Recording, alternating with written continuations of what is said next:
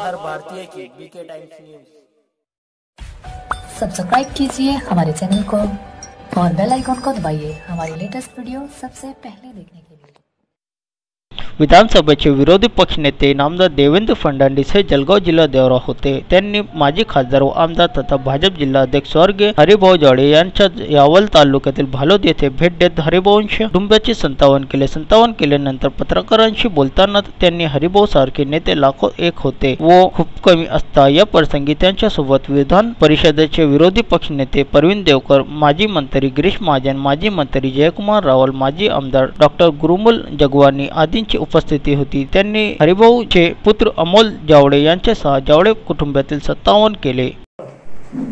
हे आमच्याकरता पक्षाकरताही नुकसान आहे. वैयक्तिक माझ्याकरताही ते नुकसान आहे आणि समाजाचंही मोठं नुकसान आहे. कारण हरिभाऊ हे जनतेतनं तयार झालेलं नेतृत्व होतं. ते हाडाचे शेतकरी होते. काळ्या मातीशी त्यांचं नातं होतं. आणि शेतीतले प्रयोग हे समाजामध्ये रुजवावे असा सातत्याने त्यांचा प्रयत्न होता. मी गेले अनेक वर्ष त्यांच्यासोबत काम केलं विधानसभेत आम्ही सोबत राहिलो.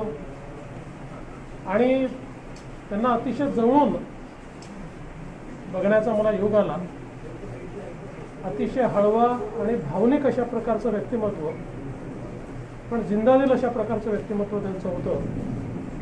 आणि खूप काही करायची इच्छा देखील होती. आता कृषी संशोधनाचं काम त्यांना देण्यानंतर खूप वेगवेगळ्या प्लॅन्स देखील हरिभाऊंनी तयार केले होते की कशा प्रकारे कृषी संशोधनाच्या माध्यमातून मी शेतकऱ्यांचा फायदा करून देईल. विशेषतः केळीच्या संदर्भात त्यांचे वेगवेगळे प्रयोग हे अत्यंत महत्त्वाचे अशा प्रकारचे होते. आणि म्हणून अशा प्रकारचे आमचे हरिभाऊ आमच्यात नाही हे खरं म्हणजे आम्हाला अजूनही खरं वाटत नाही. ते आमच्या पक्षाचे अध्यक्ष होते ते आमचे माजी खासदार माजी आमदार होते आणि पुढच्या अनेक वर्ष अनेक पदांवर ते गेले असते. पक्षाला अजून मजबूत त्यांनी केलं असतं. पण ईश्वराने आमच्यातनं त्यांना नेलं. त्यामुळे मी आज आता कुटुंबाची भेट घेतलेली आहे. त्यांच्यावर फार मोठा आघात आहे. आणि आमच्या संपूर्ण भाजप कुटुंबावर देखील आघात आहे. आम्ही सगळे कुटुंबाच्या दुःखामध्ये सामील आहोत आणि मी हरिभाऊंना आमच्या सगळ्यांच्या वतीनं विनम्र श्रद्धांजली अर्पण करतो.